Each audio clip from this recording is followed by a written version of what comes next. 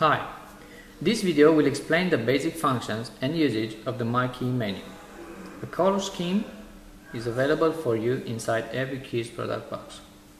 The first thing you need to know about this menu is that it is color coded, meaning each menu and each option have different colors.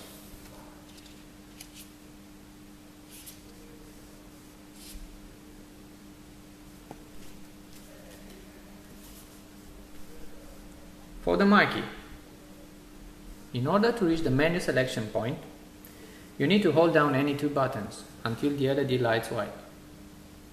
Now you can cycle through menus using the buttons 3 and 4 for up and down.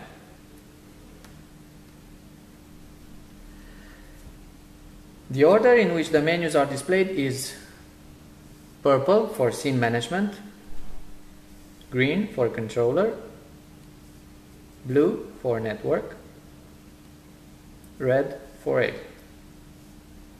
When you reach the menu that you need, you can confirm your selection with a long press on button 2. Let's take green for example.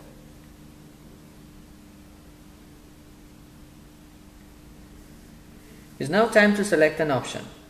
When in the desired menu, you can cycle through various options using again button 3 and 4 for up and down. The LED will light in the color of the menu, green here, and then the color of the option. You can select an option with a long press on button 2.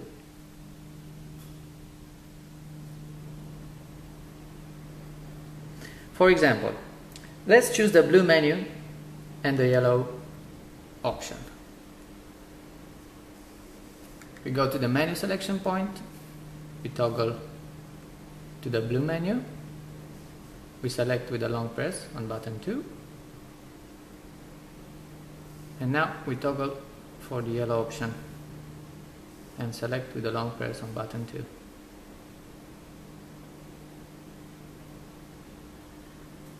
Whenever you want to return to the main menu, cycle